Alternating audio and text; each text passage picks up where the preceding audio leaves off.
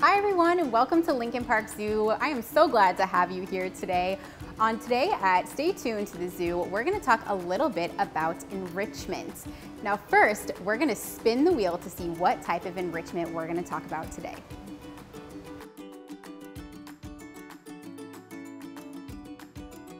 Great, we got food enrichment. So there are a couple of different ways that food enrichment can be given to animals here at Lincoln Park Zoo. Now we'll back it up a little bit and talk about what food enrichment is.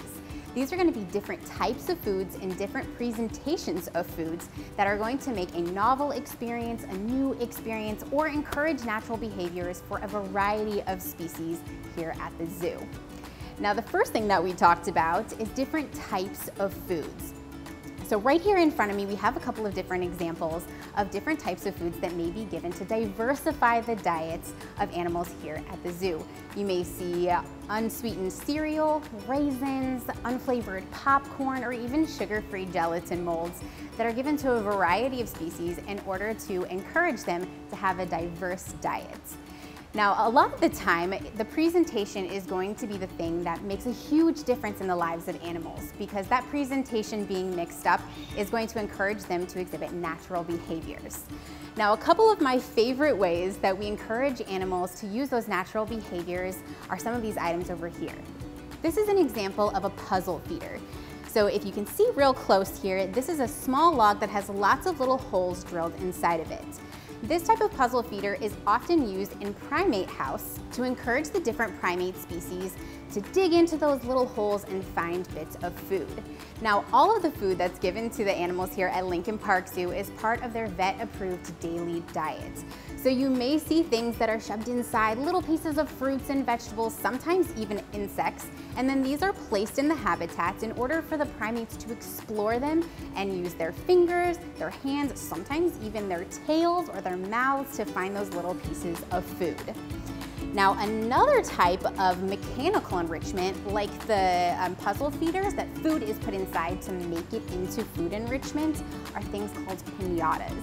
So if you can imagine, this is actually not a real log. It is made out of paper mache and it is painted very carefully by our volunteer enrichment group in order to be able to put food items right inside of here or in here and placed very carefully and intentionally inside an animal habitat.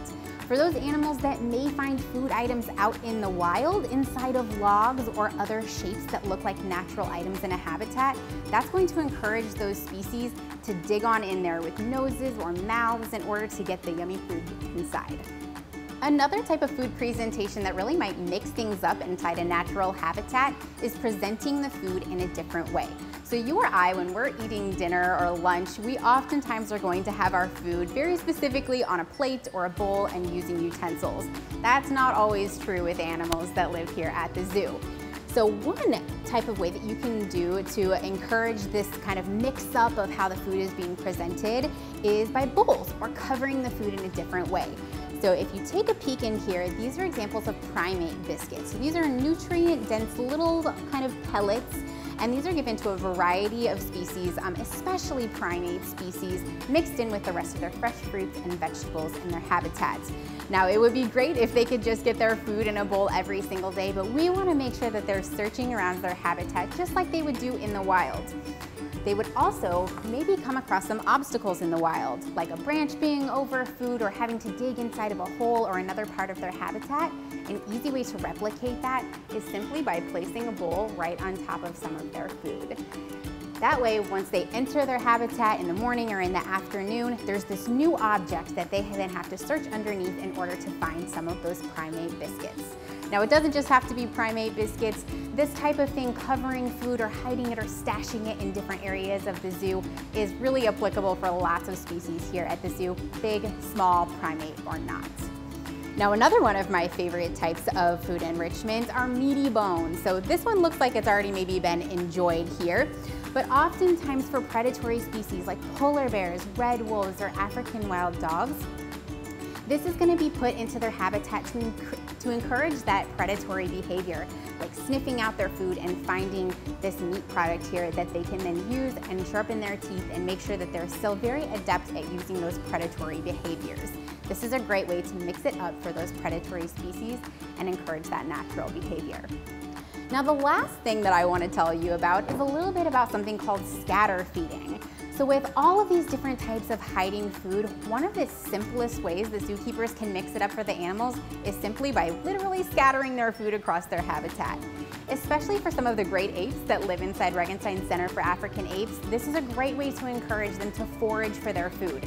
Romaine lettuce, sweet potatoes, carrots are all lots of vegetables, so sometimes when they are there in the morning, the zookeepers will let the great apes out of their bedrooms kind of behind the scenes and they will find food scattered all across their habitat. That seems messy to us, but it's perfectly normal for the great apes that live within uh, Regenstein Center for African Apes, and they spend quite a bit of time in finding all of their favorite bits of food and gathering those things up. That's exactly what they would do in the wild, spending that much time finding their food. Thank you so much for joining. Stay tuned to the zoo to learn a little bit about food enrichment. Next up, you may be able to cool down with another type of food enrichment of your own. Food enrichment is all about providing options. One of the easiest ways to bring food enrichment into your life is by trying different foods. Animal Care at the Zoo uses food enrichment in so many different ways. One of my favorite ways is ice pops. You may have seen the gorillas enjoying an ice pop full of delicious juice on a hot summer day, or even the seals tossing around a squid-filled ice pop in their pool. Today, we're gonna make our very own ice pops.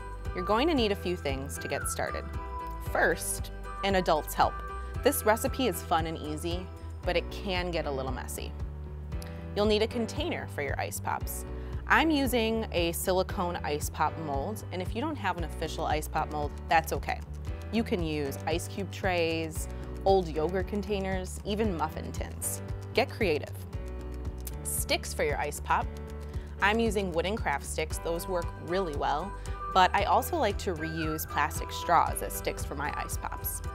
Ingredients. Today I'm using raspberries and orange juice, but there are so many different ingredients you can include in here. Any fruit, fruit that's really ripe, might be going bad in a few days, is perfect. Vegetables like sweet potatoes and spinach. Juice like lemonade or orange juice. If you like creamier popsicles, you can use milk like coconut milk. And if you want it on the sweeter side, you can add honey, agave nectar, or even maple syrup. If you're using a lot of ingredients, you'll probably want a bowl so you can mix all those ingredients. And if you're having any trouble getting your sticks to stand up straight in your ice pop, tin foil is a great help. Last but not least, you're going to need a freezer to freeze your ice pops. So let's get started. I'm using raspberries and orange juice today. So I'm gonna start by putting a few raspberries in each of my squares.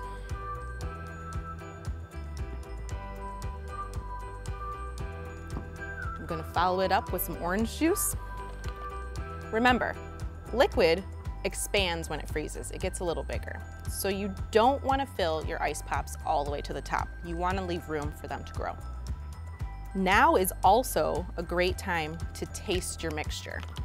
When food and liquid freezes, it actually loses some of its flavor. So if you feel like your ice pop needs to be a little stronger or sweeter, now is the time to add more flavors in.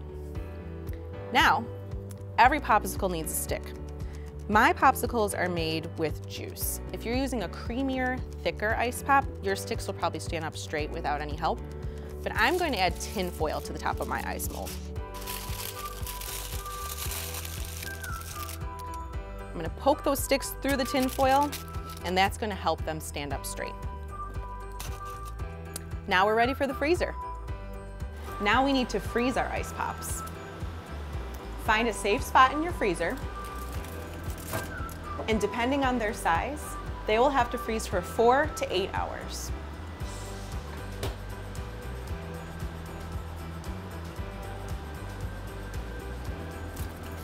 Yes, they're ready. Now it's time to carefully take our ice pops out of their mold.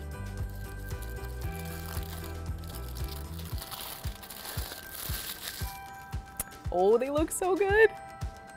I used a mold made of silicone, which is a flexible rubber. So my ice pops are going to be pretty easy to get out. If you're having any trouble with yours, you can always hold a warm washcloth to the bottom of your container and that will help loosen up the ice.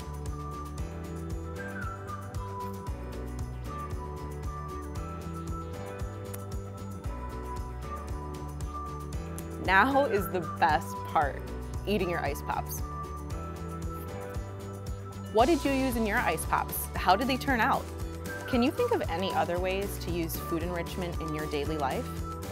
Thanks for watching Stay tuned to the zoo. Subscribe to our YouTube channel to see new episodes every Tuesday and Thursday.